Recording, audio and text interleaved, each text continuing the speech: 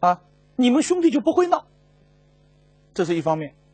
第二方面，如果太子早听我的话，弄不好干掉的是你啊。这个话是很厉害的。李世民听了以后，不仅火气马上降了下来，而马上就被魏征这种不畏强权、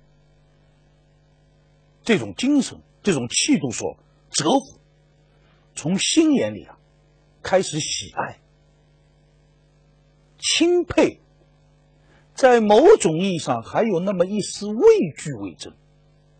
他觉得这个人不一样，所以马上的重用了魏征。魏征的刚直不阿，使李世民意识到这是一个难得的人才，于是马上任命魏征为专门负责给皇帝提意见的谏议大夫。魏征果然尽忠职守，勇于持谏。李世民并不顾虑魏征曾是太子李建成的谋士，不久又把魏征提到了宰相的位置上。那么，魏征是怎样向李世民持谏？身为皇帝的李世民。又是否能够听得进去呢？建国之初，唐太宗励精图治，啊，经常召见魏征，而魏征也越来越显出他的胸怀大志、胆识超群，以实事求是的精神向皇帝大胆进谏。在魏征任职的几十年里，我们从史书上可以明确查到的。魏忠进谏二百多次，这个是很庞大的数。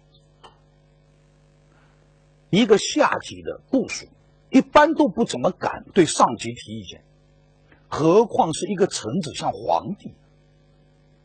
二百多条意见，而每一次，唐太宗啊，都尽量考虑考虑他的意见，尽量予以采纳。魏征这种进谏啊，他完全是犯言之谏。所谓的犯言之谏，是不顾你皇帝高兴不高兴，也不管你皇帝听得进听不进。我认为，我做臣下的本分，就是应该把我的真实想法禀告皇帝。我不能阿谀奉承，不能顺着你皇帝，不能天天喊万岁喊英明吧。即使在唐太宗大怒的时候，魏征也敢啊，当面停政，在朝廷上就跟皇帝争执，从不退让。所以啊，唐太宗对魏征的敬畏之心啊，还越来越重。